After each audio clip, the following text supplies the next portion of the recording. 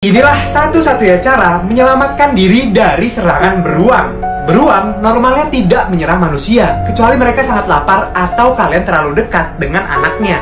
Jangan pernah kalian melarikan diri karena beruang akan melihat kalian sebagai mangsa. Dan ingat, beruang adalah pelari dan pemanjat yang handal. Mereka bisa berlari hingga 50 km per jam dan mengehap kalian. Jika itu beruang coklat atau grizzly, kalian harus pura-pura mati karena mereka hanya menyerang jika terancam. Dan jika melihat musuhnya sudah mati, mereka akan pergi.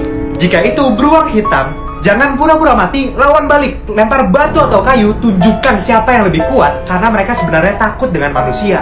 Jika itu beruang kutub, menyerahlah. Kalian harus jauhi habitatnya karena mereka tidak takut siapa pun, bahkan aktif memburu manusia. Dan itulah mengapa orang-orang yang tinggal di kutub utara selalu membawa senapan ke mana pun mereka pergi. Ada pepatah, jika itu coklat, berbaringlah. Jika itu hitam, lawan balik. Dan jika itu putih, selamat tidur.